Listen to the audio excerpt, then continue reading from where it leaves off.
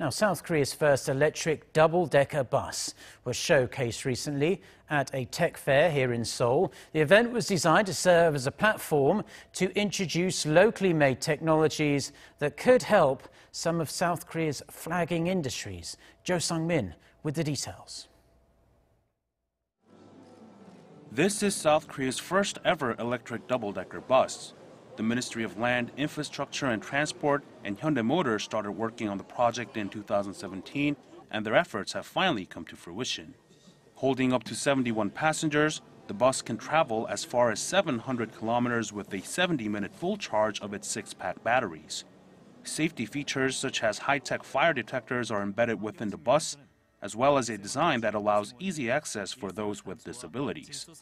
The bus boasts a low-floor design and a built-in sliding ramp at its entrance, so a wheelchair can board the bus with convenience and ease. The implementation of a wire-free tram is also picking up speed amid the government's push to introduce eco-friendlier public transportation. The tram relies on its battery for power, so it makes less noise and less emissions. It also provides simpler and better views in the city without all the wires. These are some of the new technologies that took center stage at the 2019 Land Infrastructure and Transport Technology Fair that was recently held in Seoul. Organizers said these technologies will make sure South Korea stays on the right track to remain competitive in terms of making technological achievements.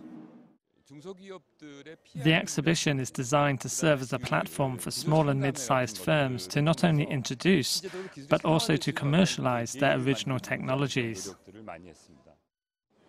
Other new technologies that were displayed during the fair include a remote-controlled unmanned excavator and robots that can paint the outer walls of tall buildings.